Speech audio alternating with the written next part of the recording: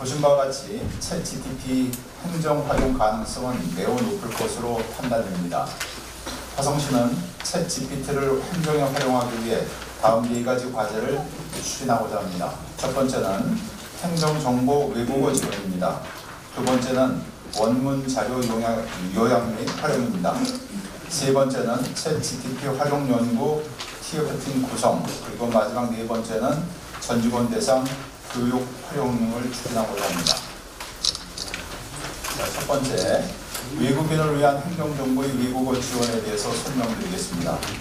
화성시는 5만여 명의 외국인이 거주 중이며 그 외에도 일시 방문 등을 목적으로 한 다양한 국적의 외국인이 생활하고 있습니다.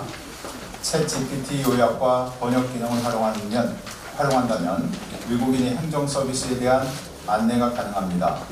영어나 중국어, 일본어, 베트남어, 태국어 등 상위 거주 국가를 우선순위에 두고 핵심 전달 사항을 요약하여 행정 정보를 제공하겠습니다.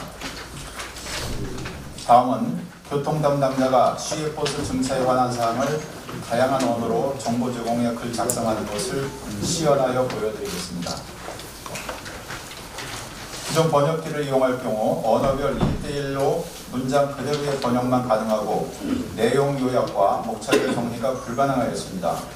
요약과 목차별 정리가 담당자의 작업을 통해 이루어져야 하기에 시간이 다소 소요되는 경우가 많았습니다. 반면 챗 GPT를 이용하면 한국어를 다양한 언어로 한꺼번에 번역이 가능하고 내용의 요약과 목차별 정리가 가능하여 한눈에 정보를 볼 수 있도록 글 작성이 가능할 것으로 보입니다. 전달하고자 하는 내용을 전부 입력하면 해당 내용을 목차별로 일목요연하게 요약 정리해주고 바로 다양한 언어로 글을 작성해주는 것이 가능하기에 시간 소요가 줄어들 것으로 보입니다. 기존 번역기와 다르게 챗 GTP는 내용을 보기 좋게 목차별로 요약 정리할 수 있어 외국인에게 화성시의 다양한 정보를 목차별로 요약 전달할 수 있는 장점이 있습니다. 이와 같이 화성시는 챗 GPT를 활용하여 방문 및 거주 외국인에게 화성시의 행정정보 접근성을 높일 계획으로 있습니다. 둘째는 연구 용역 보고서 활용 극대화입니다. 챗 GPT를 통해 연구 용역 보고서 요약 및 발췌의 소요 시간을 획기적으로 줄일 수 있습니다. 화성시는 최근 5년간 248개의 연구 용역을 추진하였습니다. 타부서에서도 활용도가 높을 것으로 판단되는 연구 용역 보고서의 주요 내용 요약본을 만들어 짧은 시간 내에 핵심 내용 파악이 가능하도록 할 계획입니다. 다음은 챗 GPT를 통해서 연구 용역 보고서의 주요 내용을 추출하는 것을 시연해 보이도록 하겠습니다. 지금 보시는 것은 도로의 안전속도를 시속 30km와 50km로 낮춘 정책의 효과를 분석한 연구 용역 보고서입니다. 보시는 바와 같이 영역, 연구 용역 보고서의 분량이 100페이지 이상으로 연구 용역 보고서의 요약본을 만들기 위해서는 상당히 많은 시간이 소요될 것입니다. 이러한 방대한 분량의 연구 용역 보고서를 챗 GPT를 통해 주요 내용을 축출하여 요약본 작성, 소요 시간을 단축시킬 수 있습니다. 안전속도 정책의 개념과 정책의 추진 배경, 정책의 효과 분석에 이용한 데이터와 연구 방법, 안전속도, 정책의 교통안전 효과 등의 주요 내용들을 짧은 시간 안에 요약해 주시는 것을 보실 수 있습니다. 저것을 또 선별적으로도 우리가 발췌해서 볼, 수가 있습니다.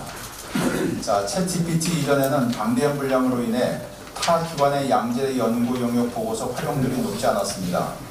챗 GPT를 활용하면 양질의 연구, 연구 용역 보고서의 핵심 내용 추출이 가능하게 활용률이 높아질 것으로 보고 있습니다. 다음은 챗 GPT 활용성을 극대화하기 위한 현장 직원 중심 TF팀 조직 및 운영입니다. 아이디어 도출이라든가 기본 자료 조사, 엑셀 업무, 요약 및 번역, 언론 보도 작성 등 다양한 분야에서 챗 GPT를 활용률을 높이고 분야별 행정 업무 실무자를 TF팀에 포함해서 챗 GPT 행정 활용 매뉴얼을 만들도록 하겠습니다.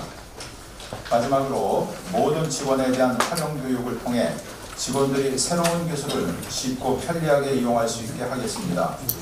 아, 우리 원래조의 시간을 활용하여 전 직원 대상 교육을 진행할 계획입니다. 분야별 소규모 교육도 실시하여 TF팀을 중심으로 각 분야별 활용도를 높여 기술 변화에 선제적으로 대응하도록 하겠습니다. 화성시는 데이터 기반 행정 혁신을 통해서 지속적으로 노력하겠습니다. 오늘 발표는 이러한 혁신의 시작으로 갈수 있습니다. 현재 우리가 사용하는 챗GPT는 답변의 정확성이나 활용 분야에 제약이 있습니다만은 인공지능은 놀라울 속도로 발전하고 있습니다. 이러한 기술 발전에 따라 행정은 새로운 변화를 맞이할 것입니다.